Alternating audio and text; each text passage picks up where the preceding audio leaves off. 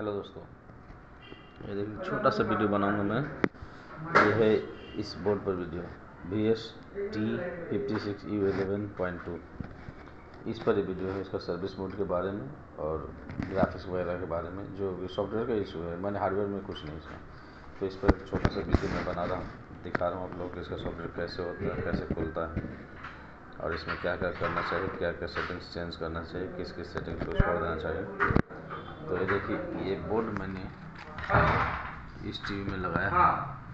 ये एक सैमसंग का टीवी छब्बीस इंच का। इसका बोर्ड ज़्यादा ख़राब था सिस्टम प्रोसेसर ऐसे ख़राब था इसलिए इस बोर्ड को बात दिया गया है। अच्छा।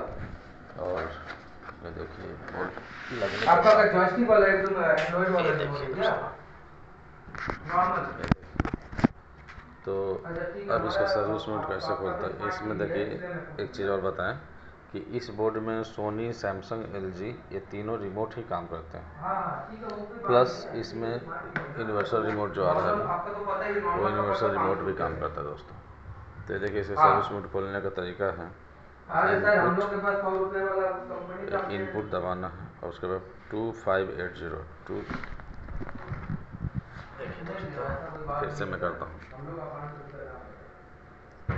Input two five eight zero उसके बाद अभी देख रहे होंगे आप लोग कि ये टीवी उल्टा दिखा रहा है। ये देखिए सैमसंग इधर लिखा हुआ है ये इधर लिखा हुआ है। तो इसको सीधा करने का तरीका पैनल सेटिंग में आएगा यानी कि पैनल एडजस्ट इसको करने के पैनल एडजस्ट इसको ओके किए ये पैनल मिरर है इसको सीधा कर देंगे।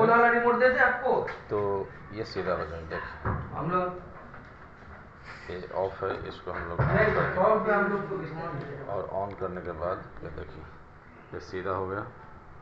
तो ये है इसका दस दोस्तों सर्विस मेनू अगर सर्विस मेनू में कुछ झमेला हो तो आप लोग ऐसे करके इसे सॉल्व कर सकते हैं। तो इसमें आप लोग दो चीज़ सीखे कि सर्विस मोड कैसे खोलेंगे और मिरर ऑप्शन कहाँ मिलेगा।